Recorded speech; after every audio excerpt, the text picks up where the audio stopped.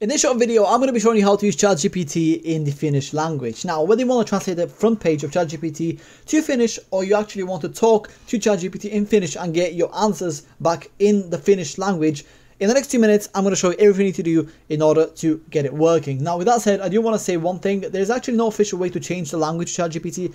If you go ahead uh, and go on the left-hand side here, there is no settings button, uh, which means ChatGPT is actually only available in English. So, uh, with that said, there is actually a way around that. So I'm going to be showing you exactly what you need to do.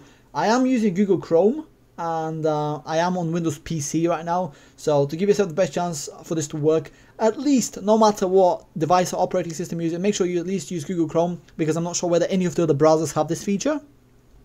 Um, so once you're on ChatGPT, simply right click and then go to translate to then as you can see mine is automatically detecting the English language because I am in the UK. So to add uh, another language, in this case Finnish, click on the three dots, then click on choose another language, and then click on the little arrow, and then simply look for Finnish, which is right here.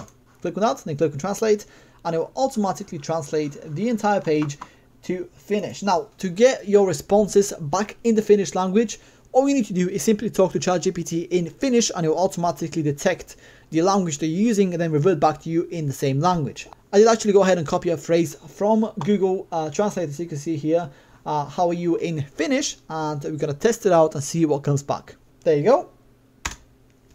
And within seconds, ChatGPT is already coming back to me with an answer in the Finnish language. Now, I can't read this because I don't speak any Finnish at all, but if you do, then uh, yeah, that's pretty much it. Now, if you do get an error, which is probably going to happen at least once, uh, all you need to do is simply refresh ChatGPT uh, by pressing F5 or simply click on this button here and then try again and it will get back to working like before.